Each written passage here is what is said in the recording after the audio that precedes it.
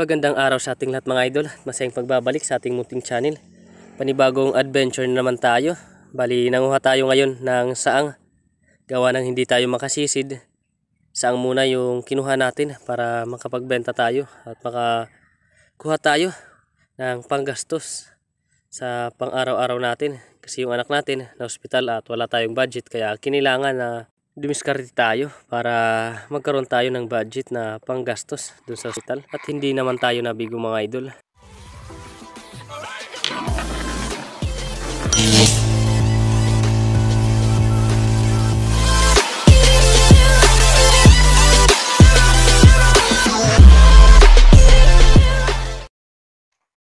Sir, magandang umaga sa ating lahat mga idol.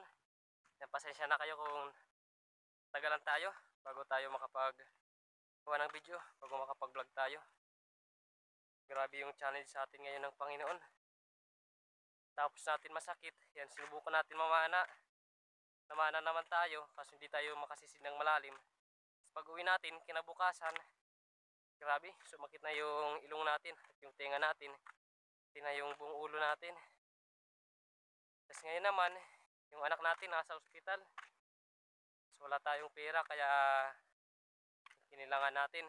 Di pa tayo makasisid pero manguha lang tayo ng saang. Baka sakali tayo na makakuha tayo ng marami makabenta tayo. Kaya abang-abang na lang mga idol. Bali dito na rin tayo sa may pantalan. Dito na tayo dito na lang tayo maghanap ng saang. Ayan. Papunta dun sa may napla yung panguhan natin ng saang. Sana kadami tayo. Kaya abang-abang na lang. Ito yung mga gamit natin. Ito yung lagyan ng ating camera. Let's go. Dito sa unang dive natin mga idol, agad tayo na nakakita ng saang. Ito yung saang na hindi pa gaano buo. Kasi hindi pa gaano kahaba yung kanyang mga spike sa kanyang shell. Eto, dalawang peraso nakita natin. Hindi pa ito ito yung mga saang mga idol na hindi pa gaano katanda. Pag hindi pa gaano kabuo yung kanyang shell. Eto, yung last natin na nakuha. Malit pa rin pero matanda na ito pag ganitong klase na yung itsura ng saang. Ayos na, benamano. Sa isang sisid natin, tatlong piraso na saang.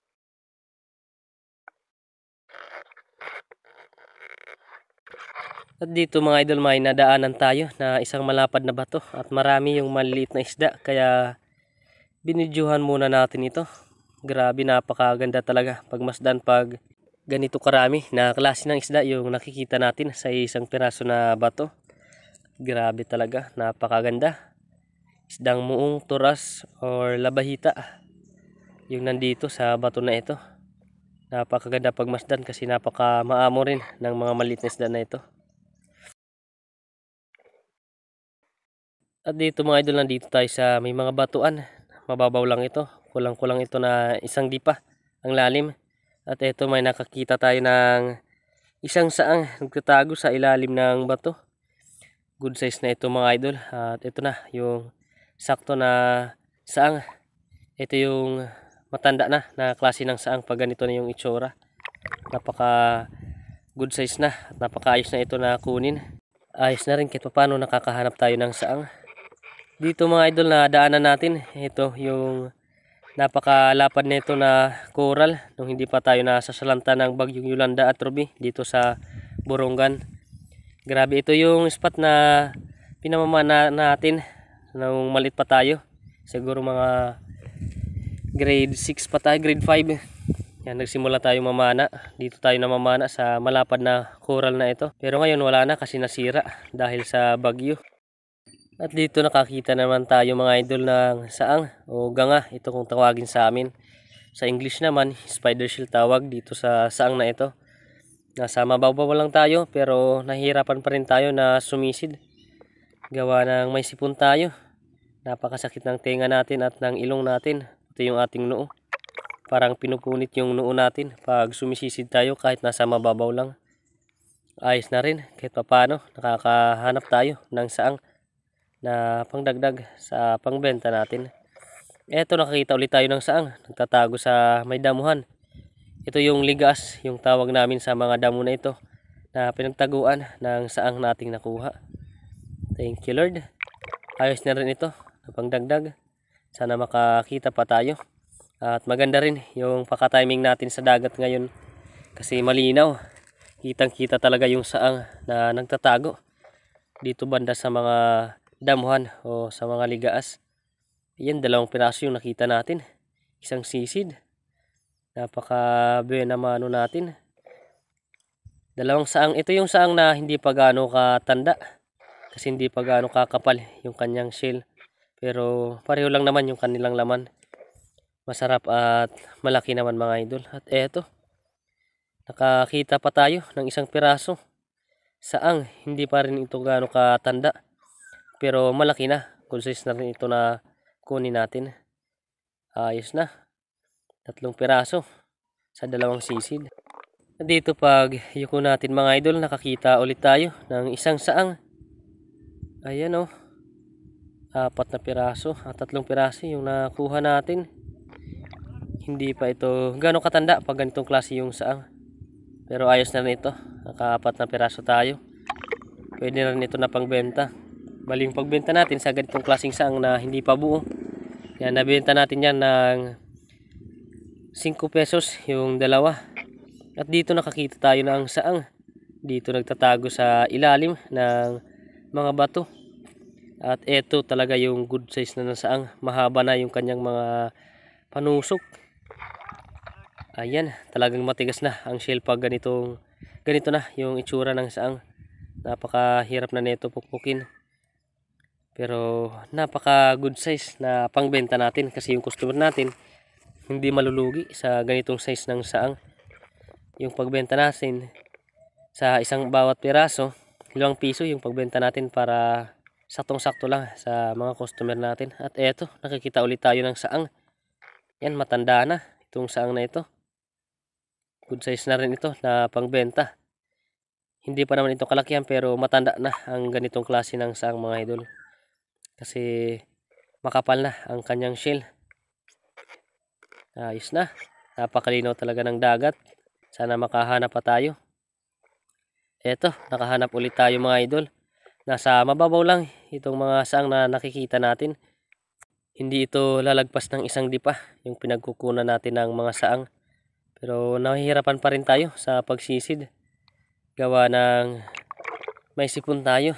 At sa nakaraang pamana natin, yung epekto ng pagpilit natin sa pagsisid sa malalim yan masakit pa rin yung ulo natin at yung ating noo. At eto, napakalinaw. Grabe ganda talaga pag tingnan ng dagat. Pag ganito kalinaw yung tubig. Eto, nakakita ulit tayo ng saang. Ang galing talaga mga idol mag-camouflage. Pag hindi talaga tayo sanay sa pangkuha ng saang. Lalong lalo na pag ganito na talagang napakahirap hanapin. Halos kakulay lang yung mga bato sa kanyang paligid. Pero ayos pa rin kahit paano. Nakakahanap tayo. Kasi sanay na rin tayo sa ganitong hanap buhay na panguha ng saang. Ito kasi yung hanap buhay natin nung malit pa tayo. Tapos hindi tayo makapamana. Ito yung pinagkikitaan natin ng pera. Ng, nung nag-aaral pa tayo. Pag Sabado at Linggo, ito yung pinagkukunan natin ng baon. Sa dagat tayo kumukuha ng baon. Ito nagkukuha tayo ng saang. At ibinibenta natin. Kaya ngayon talagang ano na natin yung kalagayan ng saang. Alam natin pag nakita lang natin yung kanyang mga panusok ng saang. Alam na natin na saang ito kahit hindi pa klarado yung kanyang katawan. At ito, nakakita ulit tayo ng saang. Yan, dalawang piraso mga idol. Magkatabi lang siguro magjowa itong dalawa. At matatanda na itong saang na nakuha natin. Nasa gilid lang ito ng mga batuan o tanggid kung tawagin dito sa amin. Yan mababaw lang ito mga isang dipa yung sinisisi natin dito. Malalaki na rin itong saang. Ayos na rin ito na pangbenta natin. Eto nakakita ulit tayo ng saang. Napakalaki ito talaga hindi malulugi yung customer natin pag binili itong mga saang na nakikita natin Kasi yung maliit mga idol na saang na nakukuha natin, hindi natin yung binibenta. Yan, uh, ipunin natin at manguha tayo mamaya ng mga musikad o yung isang klase rin ng saang para may ulamin tayo pagpunta natin dun sa hospital. Eto, saang ulit ang nakita natin. Parang buhangin lang ang kanyang kulay. Pero saang talaga at may laman. Ito yung nakita natin at malaki na rin. Thank you Lord. Talagang binubenas tayo. Marami yung nakikita natin na saang dito lang sa mababaw na parte. Dito may nakita tayong saang na nagtatago dito sa mga parang kulapo ito kung tawagin namin. Yan parang kulapo lang talaga pero saang talaga ito. Ayan o, oh, matanda na itong ganga o saang. Salamat at nakakakita pa rin tayo ng saang kahit sobrang hirap na talaga mahanap nitong mga saang kasi napakagaling mag-camouflage. At eto, nakakita tayo ulit ng saang. Talagang naka ano lang dito sa may buhanginan itong saang na ito. Ito hindi pa gaano katanda itong saang na nakuha natin. Pero good size na, malaki na itong saang at pwede rin ito na pangdagdag sa pangbenta natin. Malaki na rin yung saang na nakuha natin. Eto, nakahanap ulit tayo. Nasa mababaw lang itong mga saang na nakikita natin. Kung nakakaya lang sana natin na sumisid dun sa malalim, mas marami sana yung saang na makukuha natin. Kaso hindi natin kaya dun sa malalim. Kaya nagtiis na lang tayo dito sa mababaw. Pero ito naman, may nahanap naman tayo kahit paano na mga saang. Kahit nasa mababaw lang tayo.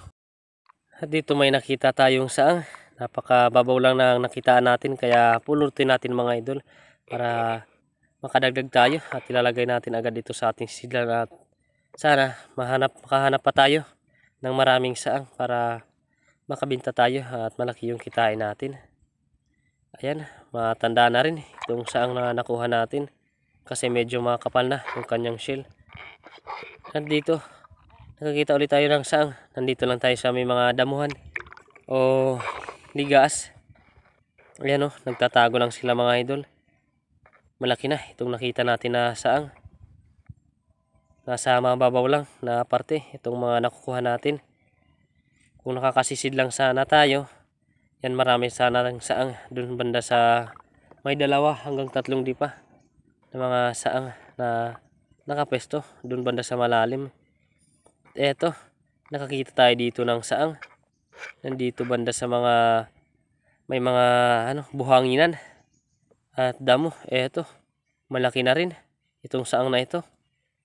Yan matanda na. Itong saang. Siguradong masarap na ang laman nito.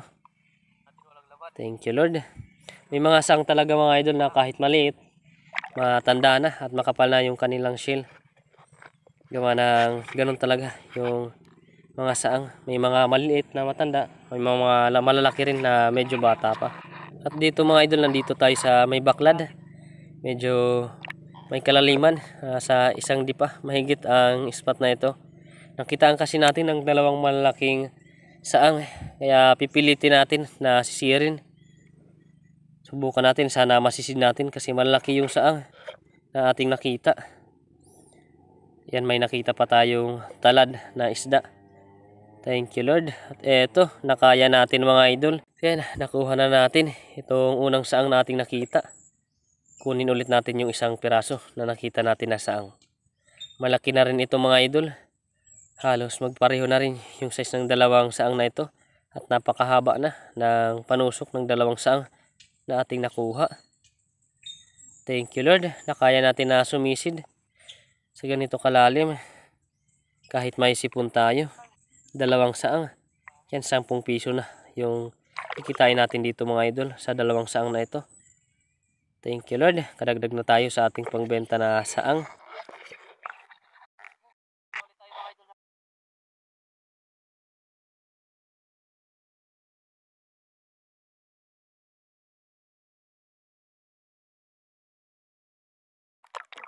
Nakikita ulit tayo mga idol dito ng saang medyo may kalaliman rin kaya ito yung ginagawa natin pinipisil natin yung ating ilong para makapag-equalize tayo ayan oh, good size na rin mga idol malaki na rin itong saang salamat Lord nakakahanap pa rin tayo ng saang kahit papano Sana makakuha tayo kahit ilang peraso. Kahit makakuha tayo ng 50 na peraso. Napakalaking bagay na yan mga idol. At may benta natin yan ng 250 pag nakakuha tayo ng 50 na peraso. Kita ulit tayo mga idol. Tayo malapit sa baklad. Malaking saang. Kaya kunin natin.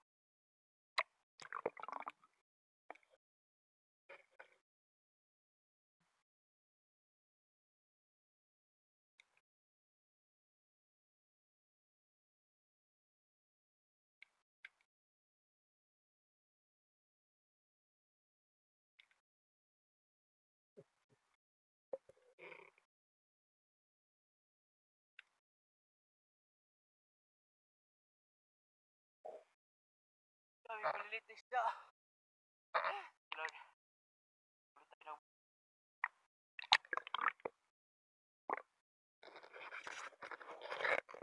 At dito mga idol na daanan natin itong mabaklad na nasa mababaw lang na parte na di ginawa dito sa mababaw na parte ng dagat.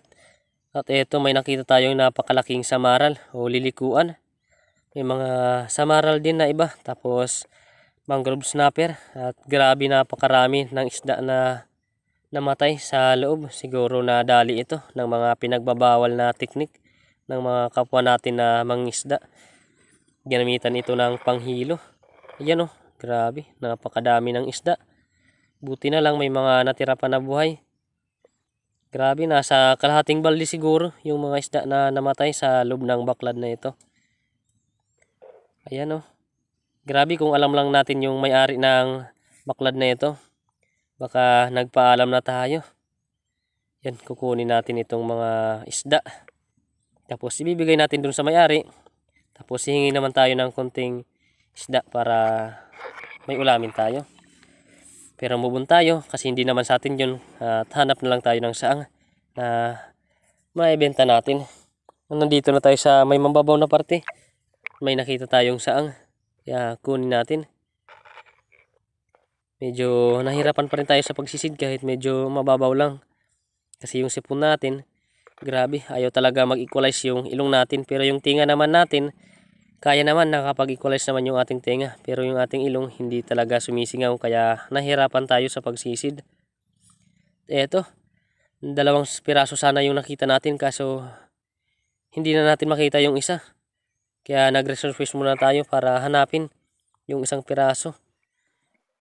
At dito mga idol, finally nakita na natin yung isang piraso na saang. Yan nakita na natin kung saan nagtatago. Nandito lang pala itong saang na ito. Ayan oh, mga laki na rin. Nasa ilalim ng batuan. Yan, matanda na rin itong saang na nakita natin. Thank you Lord. At 10 piso na ito na hawak natin. Dalawang piraso na saang malaki ng tulong na rin para kadagdag tayo sa pangbenta natin na saang. Salamat Lord. At dito mga idol nakakita tayo ng saang nakapatong dito sa may mga buhanginan. Kaya kinuha na natin agad ito. Ayos na rin ito na pangdagdag sa ating pangbenta. At may kalakihan na itong saang nating nakuha. Matanda na rin itong saang. Kaya goods na goods na na pangbenta natin. Thank you Lord. Nasa mababaw lang talaga tayo na parte kasi hindi tayo makasisid. Salamat Lord, limang piso na ito. Itong saang, sana makahanap pa tayo ng marami na saang para makabenta tayo ng marami. At dito mga idol nakakita tayo ng saang. Ito, malaki na rin. Nandito sa gilid ng malaking bato. Pero wala pala itong laman. Umang pala ito. Ksay na maumali tayo dun mga idol. Kala natin may laman. Kala natin may laman. Naumali tayo. Dito nakakita tayo ng saang. Mahigit isang dipa. Siguro yung lalim nito. Na kukunan natin ng saang. Kaya kinilangan ulit na pisilin natin yung ating ilong para makapag-equalize tayo. Ito yung saang. Malaki na rin. Kaya pag malaki yung nakikita natin na saang, pinipilit natin na sisirin. Ito, dalawang piraso nakita natin na malalaki. Kaya napilitan talaga tayo na mag-equalize tayo. At eto, eto yung hindi natin inaasahan. May isang saang pala na matanda na pero maliit pa. Nandun banda sa gilid nagtatago kaya kinuha na natin. Ayos na, malaking tulong na ito mga idol. Isang sisid natin, tatlong piraso na saang, 15 pesos na ito mga idol. Salamat. Tatlong piraso sa isang sisid. Napakalaking biyaya na ito para sa atin mga idol. Thank you Lord.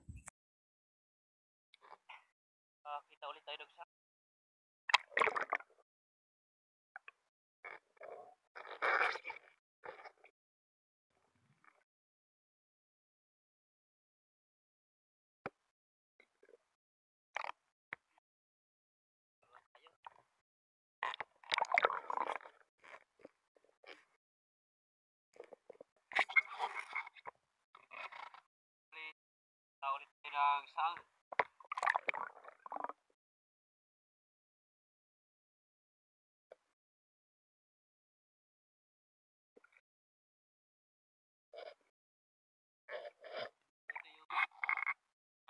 liit natin na na nagkog tawagin dito sa amin.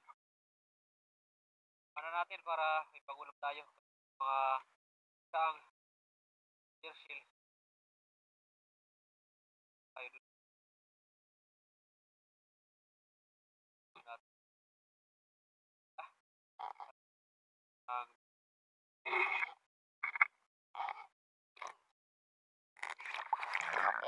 Ito lahat mga idol, yung nakuha natin na saang. Pasensya na kayo mga idol at hindi gano makita kasi against the light tayo.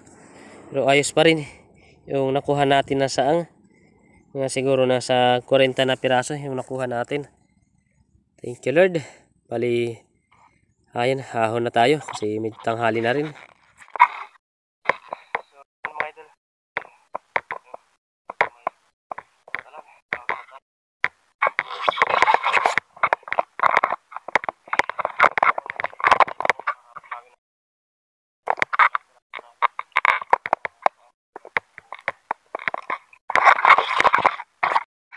Sen, bali na dito na tayo sa ibabaw mga idol ng pantalan. At ito lahat yung mga nakuha natin na saang. Ito naman yung mga musikad kung tawagin dito sa amin. Ito yung mga maliliit na sisil na nakuha natin na pang ulam. Bali, bilangin natin. Itong lahat na nakuha natin na saang. Pag ahong kasi natin kanina, may nagsabi sa atin, yung kapwa natin na mangisda na may bibili daw ng saang natin. Kaya agad na lang natin ito na nilinisan at binilang na lang natin agad para pagpunta natin dun sa baryo agad na lang natin ito na ihahatid dun sa yan sinabi sa atin kanina ng kapwa natin ng mga isda. Yan na may bibili daw. Yan bali nakakuha tayo ng 45 na piraso lahat ng saang ayos na rin malaking tulong na. May benta natin yan mga idol ng 225 yung 45 na piraso at may kaunting piraso naman tayo na pang ulam. Bali hanggang dito na lang yung ating video mga idol kasi hindi na natin mabibidyohan dun sa ospital yung pagdala natin ng pagkain kasi bawal. Baka makita tayo, anim na taon pa naman yung sintensya. Kaya maraming salamat sa inyo mga idol. Alright,